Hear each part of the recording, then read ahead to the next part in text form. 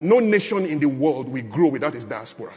Diaspora has always been the blessing of nations. If you think about it, everybody you know in the Bible, from Joseph, diaspora, Isaac, diaspora, Abraham, diaspora, Ezra, Daniel, diaspora.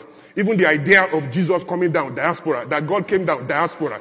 Jesus went to Egypt, diaspora, coming back home. Israel being formed in a day, diaspora. There is no nation that has grown without a collaboration and organization of his waiting diaspora. The brain drain that we'll experience has now been converted into a potential brain gain. And that gain must be understood by organizing to wake up the diaspora to its socio-economic and political destiny in the continent. The way that we work is that every year about $48 billion is sent home in remittances. That $48 billion is so huge, it's the biggest income in the continent. But guess what is coming to solve? Welfare economics. Money for shoe, for house, for rent, and all of that. And we know that anybody living abroad sending money home is sending less than 5% of his income. About 95% is still sitting dark in his, in his host country.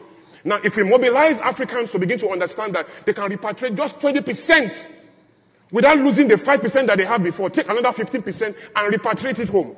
But that repatriation now is not for welfare economics, it's for investment in ideas such that it's not just Americans who are investing in Flutterwave or in, in Jumia or in any of these countries. Africans can pull resources together and be the one funding the local ideas here. That is the association between local ideas and global relevance. The idea that we will pull funds in our brain gain and bring it home to fund ideas. So we need more incubators made by Africans for Africans, more accelerators made for Africans by Africans, intentionally searching for ideas, investing in ideas.